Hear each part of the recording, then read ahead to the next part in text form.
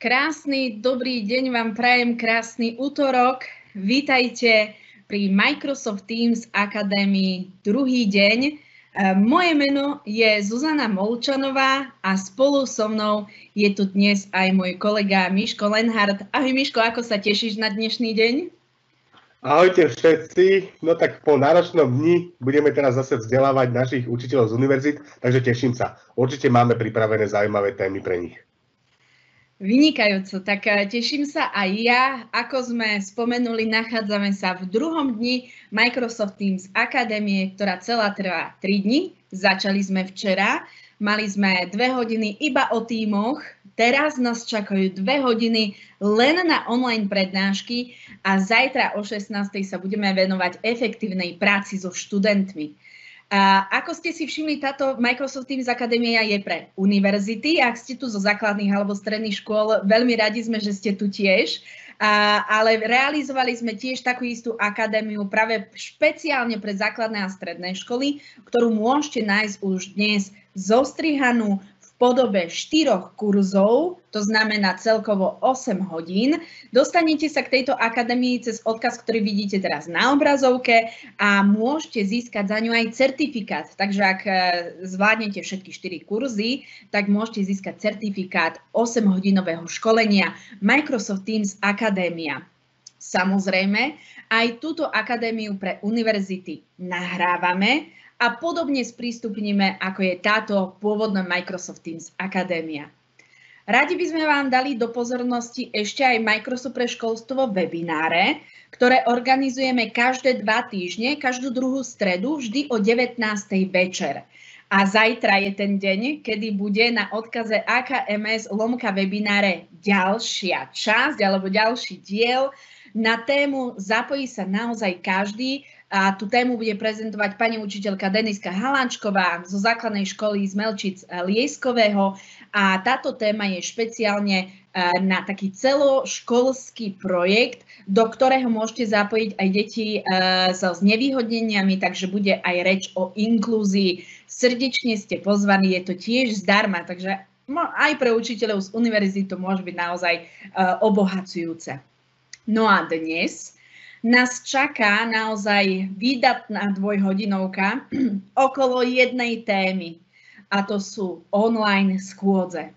Najprv si ukážeme kalendár, potom si povieme, čo to o schôdzi ako takej, ukážeme si postup, ako vytvoriť schôdzu, aké sú jej možnosti, ako samotná tá online schôdza prebieha, ako počas nej môžeme zdieľať obsah a ukážeme vám ešte špeciálny tip, živé udalosti, čo vlastne teraz aj zažívate, lebo toto je živá udalosť.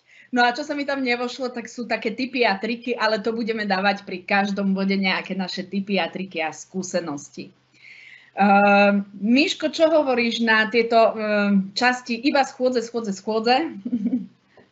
No, je to veľmi aktuálna téma, pretože od včera sa nám zavreli aj stredné školy, takže uh, veľa učiteľov to zažíva asi ako dennodenný chlebík, že sa presunuli z toho prezenčného vyučovania do tých online schôdzí a veľa učiteľov na vysokých školách prakticky od začiatku akademického roka už učí iba online. Takže online schôdze sú bežnou súčasťou nášho života, aj keď my v Microsofte ich už používame veľmi dlho a sme na nich zvyknutí, tak určite tá výučba cez tie online schôdze je trošku nie že zložitejšia, je to trošku iný zážitok, ale zase na druhej strane to môže tým učiteľom aj tú prácu trošku uľahčiť. Aj to všetko si po dneska povieme.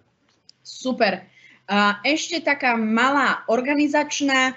Vpravo na vašej obrazovke vidíte otázky a odpovede k živému podujatiu. Ja som už tam pár oznamov dala takže budeme radi, keď si ich prečítate.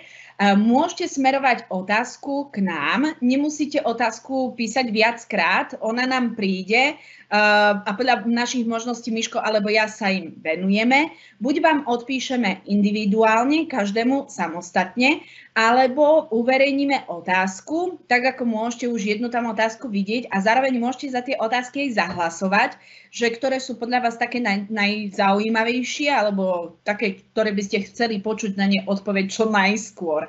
Takže, uh, takže to je taká organizačná časť k celému tomuto prostrediu. No a teraz prejdeme hneď k prvej téme a to sú kalendáre. Takže ja si ešte tu otvorím môj ťahačik na osnovu dnešného kurzu. No, nachádzame sa v prostredí Microsoft Teams, ktorý sme si opísali včera, takže ak ste neboli včera, počkajte si na nahrávku, budeme robiť maximum preto, aby ste ju mali čo najskôr, avšak teraz sa sústredujeme na produkciu týchto kurzov alebo týchto webinárov a potom na ich spracovanie, takže určite vás prosíme aj o uh, trpezlivosť pri spracovaní. Uh, a chápeme, že je to veľmi dôležitá téma, ale snažíme sa robiť maximum, verte nám. Dobre, takže prvá téma, kalendáre. V aplikácii Microsoft Teams v ľavom paneli Včera sme sa často motali okolo tímov, no teraz by som vám chcela predstaviť časť s názvom kalendár. Takže tu môžete vidieť, že máme, mám svoj kalendár, kde mám nejaké schôdze. Toto je môj ukážkový účet, preto tých schôdzí je tam tak málo. V normálnom kalendári ich mám trošku viac, ale túto práve tento kalendár je taký, e, také centrum na všetky poznámky, e, pozvánky, ktoré mám, ktoré mi prišli e-mailom ako schôdze, alebo niekto zvolal z týmu ako schôdzu, tak to sa tu všetko e, zobrazuje. Mm, myslím si, že taký jednoduchý popis prostredia netreba, ale skôr, čo by sme radi porovnali, a to odovzdám slovo Miškovi, že existuje kalendár aj v Outlooku. Tak skús nám, Miško, porovnať e, možno rozdiely podobné veci. V čom je iný Teams kalendár a v čom je iný Outlook kalendár? Ja ho o chvíľu otvorím. Uh, áno, uh, máme teda tie kalendáre nie jeden, ale viacero. Treba si uvedomiť, že ten náš Outlookový kalendár predstavuje našu osobu. Hej? Čiže všetko, čo prišlo na našu osobu, kde sme boli pozvaní, tak v tom kalendári vidíme všetky udalosti. Kalendár týmu je samostatný kalendár, ktorý sa vám zobrazuje vždy v aplikácii Teams, keď si kliknete na kalendár, v každom týme, v ktorom ste, je samostatný kalendár, na to musíme upozorniť, ale vám sa zobrazí ten kalendár iba jeden a máte tam vlastne všetky tie udalosti tých všetkých tímových kalendárov zobrazené, vrátane vášho súkromného kalendára. Ak chcete tieto udalosti vidieť v Outlookovom kalendári, tak tam je potrebné si okrem toho svojho súkromného kalendára zapnúť ešte aj tie tímové kalendáre. Takže naše odporúčanie je, keď pracujete v Teamsoch, tak keď pracujete s Teamsami, tak radšej sa vždy pozrieť do toho kalendára v Teamsoch, lebo tam vidíte všetko na jednej kope. Zuzka teraz si otvorila svoj kalendár, vlastne je to v aplikácii Outlook for Web alebo keď si to otvoríte priamo v aplikácii Outlook, tak v ľavej časti máte možnosť si zobraziť kalendáre, je to tam vľavo dolu a tam si treba tie tímové kalendáre vyhľadať. Oni by sa vám tam mali postupne zobrazovať, čiže treba kliknúť vľavo dolu na ikonku kalendára, je to druhá ikonka vedľa, eh, vedľa eh, ikonky, ktorá predstavuje poštu. Potom sa vám otvorí takéto prostredie kalendár, v ľavej časti máte prehľadový kalendár na celý mesiac a pod tým máte možnosť zapínať a vypínať rôzne kalendáre, ktoré sú vám dostupné. Čiže tu si viete postupne aj pozapínať tie tímové kalendáre, teda kalendáre s tímov, v ktorých ste ich účastníkom a mali by ste tam vidieť teda aj všetky udalosti. Ale ako hovorím, odporúčame, pozrite sa do kalendára v Teamsoch, tam to máte všetko bez toho, aby ste si niečo zapínali na jednej kope, teda v jednej aplikácii, v jednom kalendári a nebudete s tým mať vôbec žiadny problém. Super. Takže toľko uh, k rozdielom kalendár v Teams, kalendár v Outlooku. Ak by ste potrebovali uh, podrobnejšie, tak skúste si pozrieť tú Microsoft Teams Akadémiu, ktorú, uh, ktorú sme nahrávali pred tými troma týždňami. Ja som už niektoré otázky vypublikovala von, takže pokojne, pokojne lajkujte, ktoré sú pre vás najzaujímavejšie. Je tu jedna taká hneď konkrétna kde nájdem ten kalendár? Ja ho tu nemám v ľavej lište. Lište, liška. Miško, prosím ťa, ak niekomu sa nezobrazuje kalendár v ľavej lište, čo robí zle?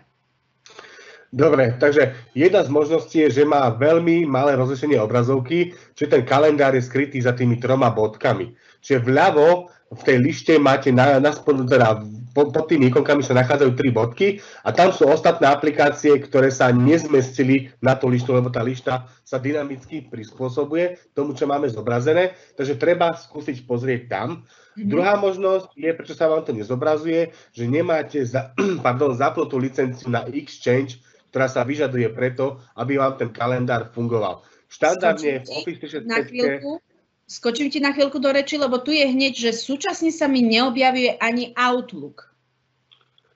O, tak to potom máte nejaké iné konto, to nie je školské Office 365 konto, pretože Teams existuje aj vo free verzii, ktorá je pre bežných zákazníkov, teda fyzické osoby, čiže ktokoľvek, kto si zaregistruje účet Microsoft, tak si môže spustiť Teams, môže sa do neho prihlásiť, ale bohužiaľ tento Teams zatiaľ tento možnosť toho kalendára nemá sprístupnenú. Takže treba si využiť školské Office 365 konto, ktoré dostanete od vašej školy, teda univerzity, vysokej školy a tam určite tieto veci fungovať budú. Ako som už hovoril, je potrebné, aby to bola aj tá licencia na Exchange, čiže nejaká tá schránka, ktorá by mala byť e, v rámci Office 365 automaticky. Niektoré univerzity majú taký hybridný režim, že ešte tie e-mailové schránky majú na inom systéme, takže tu záleží na tom, ako to IT oddelenie nastavilo. Za štandardných okolností by ten kalendár mal byť dostupný. Ak nie je, treba sa kontaktovať na vaše IT oddelenie, oni budú vedieť, prečo sa vám to tam nezobrazuje, prípadne vyriešia ten problém, ktorý máte s zobrazovaním kalendára. Tak, vynikajúco. Presne to je tá informácia, že pokiaľ uh, nemáte tam kalendár v, tej, v tých možnostiach, ako ukazujeme my, uh, tak potom nemáte niečo nastavené. Naozaj sa obráťte na svojich správcov, uh, oni vám budú vedieť lepšie poradiť. Od univerzity sa to líši, takže musíte sa, musíte sa popýtať.